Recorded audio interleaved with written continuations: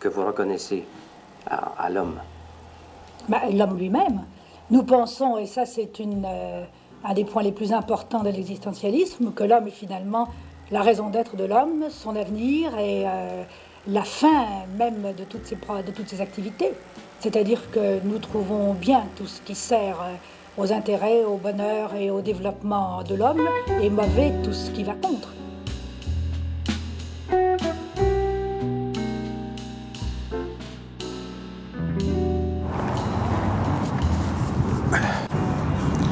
Guys, welcome to the very first episode of a series of videos that I decided to call At the Existentialist Cafe, where I'm going to review different coffee blends, talk about philosophy, and share with you some of my future reads. I've got a really nice selection here. I'm going to briefly cover them at the end of this video. Here are the church bells. I think it's a good sign. I hope it's a good sign. After all, this video is going to be about existential philosophy. I believe that existentialist philosophy can really help us with our daily journaling, and I'm going to explore some ideas and some techniques that we can apply to our daily life. The very first part of this video is going to be focused on this wonderful book that I come back to very often. It's called At the Existentialist Cafe, exactly the same way as this series of videos. I'll tell you a little bit about why I decided to stop on this title for this series. It's written by Sarah Bakewell, who is actually one of my favorite contemporary writers. I haven't seen so much sun in England in 10 years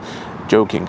I've read many books that pretended to introduce the ideas of the existentialist philosophy in a easy and concise manner, but most of them were written in a very vague, almost mysterious language. I got a feeling when I was reading those books as if writers tried to be vague in order to seem more clever than they are, but in the end, they couldn't explain what existentialist philosophy is actually about. This is the opposite of what Sarah Bakewell does. She very well distills the key ideas of the existentialist philosophy and writes about them in a very concise way. When I was recently rereading this book, I realized that the ideas that she explores in the very first chapter can help us in our daily journaling, and I'm going to explore them in this video. Some people dream about traveling to exotic countries, countries such as Japan. I personally dream of time travel, to travel to a Parisian cafe in 1930s where Jean-Paul Sartre, Simone de Beauvoir, Raymond Aron and other artists, thinkers, writers, philosophers sat down in, with a cup of coffee such as this and discussed their genius ideas. This is how the first chapter of Sarah Bakewell's book starts. She tells us about a problem that Sartre and other philosophers of their time faced. The problem that philosophy became very boring at that point. Most of the academic philosophers were stuck with very abstract, very vague ideas that were 2000 years old. Ideas such as what is real and what is not real, how can we define it, all those things that didn't matter in daily life. Philosophy at that point was very stuck. It wasn't moving, it wasn't producing any new ideas, any new fresh perspectives at all. The First World War just ended and people were really suffering and they needed a new way of thinking. In one of those evenings in this Parisian cafe, Raymond Aron, who was a friend of de Beauvoir and Sartre, told them about a new um, philosophical school, a new idea that was emerging in Germany, and it was called phenomenology. The purpose of the phenomenology, if we tell it in a nutshell, was that what matters is are the phenomena that appear in our lives, in our existence. How do the things seem to us? How do we feel? And the person who started this new discipline was Edmund Husserl. What was revolutionary about Husserl was his focus on our personal experience, on our own senses. How do we experience our own life? And this opened up whole new doors for the philosophy. Hello guys, as I was editing this video, I realized that I skipped a couple of great examples which illustrate how phenomenology can be applied to real life. And the examples that I would like to explore here come from medicine and they were very well described by one of my favorite writers on medicine whose name was Oliver Sacks. He was a neurologist, a brilliant writer, he has some really great books and in his 1984 book called A Leg to Stand On, he described how he was recovering from a severe leg injury that he had. The problem that he faced at some point was that his leg was fully recovered at some point and he could stand, he could walk, he could run, everything seemed fine from the outside, but from the inside, Sacks felt as if his leg was separate from his body. He described it as if he had a wax leg. And you can imagine how difficult and how strange it was for him to explain to his doctors that this is what he experiences, this is what he feels like.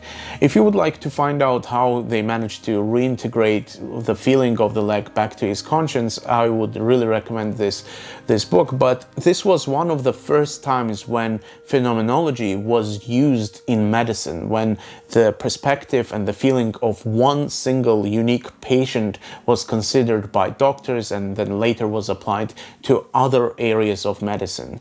We've all heard about similar cases, about phantom limb pains that are often called, when a patient who has lost a hand or a leg continues to feel their lost limb, their hand, for example, long after it was amputated and they lost it. They can still feel the limb itself, the hand itself, and even the pains that they had in it. So this is a very interesting psychological and medical example. And of course, the phenomenology goes even beyond this, uh, but it very well illustrates what phenomenology is about and the importance of its discovery by Husserl. Because now, instead of focusing on abstract ideas such as what is real and what is not, philosophers could actually deal with the real life. And this is what Sartre and de Beauvoir started to do. They started asking questions. How do we experience things? What does it mean? And they started creating new frameworks of thinking. And I wanted to read to you one of the sentences that Sarah Bakewell quotes from Sartre lectures, where he says that there is no traced out path to lead man to his salvation. He must constantly invent his own path. But to invent it, he is free responsible, without excuse, and every hope lies within him. Essentially, he was throwing away all the Christian doctrine, he was throwing away all those vague philosophical ideas, and he was saying that what matters is your existence, that you invent yourself with your actions every day. And there was another wonderful quote where he says that, do not pay, put any label on me because I'm a work in progress. This idea left a huge impression on my mind when I read this book for the first time. It once again restated to me that putting label on yourself by saying that I'm existentialist or any other label like I'm Christian or I'm Marxist or whatever label you can invent there limits you. As Oscar Wilde said, to define is to limit and to limit for existentialists essentially meant death. Defining yourself, leaving a label on yourself would essentially mean for the existentialists that you are stopping your potential. You are stopping your future of what you actually can be of the actions that you can take. In 1950 sartre gave a lecture and he brought an example of one of his students who came to him to ask for advice. It was during the second world war. And this student faced a very big decision problem. His father turned out to be a traitor. He collaborated with the nazis while his brother fought against Nazis and died in the front. This student wanted to go to England and join French resistance fighters there. But the problem he had was his mother. His mother was really ill and was very dependent on him. So this student had to decide whether to go and fight against Nazis, to defy his father who was a traitor, or stay at home and take care of his mom. For Sartre to make a decision for the student would mean to deprive the student from, of his own freedom. He told to his student that it is a decision that only he could make because it is only his own personal experience. It only his soul and his existence could make this difficult decision. And I believe that this example perfectly illustrates what existentialism is about. It is about difficulty of taking responsibility of your own life. And this is what many people do by adopting religious doctrines or uh, political ideologies, this is what they do. They say, I cannot decide this. Can you decide it for me? It is in those moments of difficult decisions when we define our life. You might ask how all of this is connected to journaling. It is connected in a way that for existentialists, the essence of life was experience. By journaling, we define and focus on that experience. When you sit down alone with a piece of paper, with a pen, and you write down about your day, about what you experienced, with a vivid detail that is important only to you, it is in essence your life. And nobody else can do it for you. Nobody else can sit down and write down your own journal. There are a lot of uh, ghost writers who can write novels for you, but nobody can ghost write your own life. This was what gives us anxiety. Life is uncertain. We don't know what is going to happen, but we define it by our own actions, by our own choices. By sitting down and trying to describe in your diary in a vivid detail the parts of your day that are important is a very useful way to stay engaged with life. Very often productivity gurus uh, advise to uh, keep a highlight of the day, of the thing that you will remember this day for. And this is, in essence, what existentialists were asking us to do. It is by giving you a highlight, by saying that during this day, I, this was the most important thing that I experienced, this was a highlight. It essentially means that this is what I experienced and this is what defined my life. This is the first thing that can you can practice. Try to describe vividly as much as you can what you experience. As I said, I haven't experienced a sun like this in England for the past seven years at least. this was actually the reason why I decided to call this series of videos uh, uh, at the Existentialist Cafe.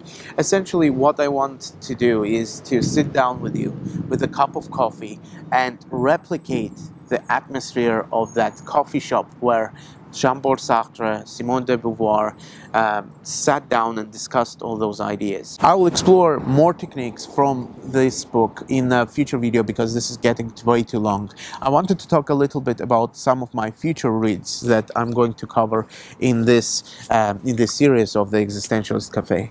Uh, first of all is a collection of Joan Didion's essays. I really enjoyed reading her White Album and Slouching Towards Bethlehem. This is her collection of essays, Let Me Tell You What I Mean. I'll leave all the uh, links to those books in the description. The next book that I would like to read is called Genius and Ink, Virginia Woolf on how to read. Uh, it is published by Times Literary Supplement, one of my favorite uh, newspapers. And the last book that uh, I would like to share with you is called The Power of Words by Simone Weil. I hope I'm pronouncing her name correctly. I believe that this book is kind of an essential read, at least from what I've heard, uh, especially in our times when uh, war in Ukraine is happening, when we are surrounded by propaganda and each side is trying to persuade us by the power of words for uh, to take their own side. So these are three reads. All of them will be in the description of this episode. The coffee that I was drinking today that has a very smoky taste and is a dark roast is called Hot, Hot Lava Java. Uh, I actually enjoyed it a lot. If you are a fan of uh, dark tasting with uh, notes of toffee and uh, kind of having a black peppery taste in it. I would really recommend you. It gives you a nice kick. It helped my brain certainly to record this video. I'll leave all the links down in the description. I hope you enjoyed this video.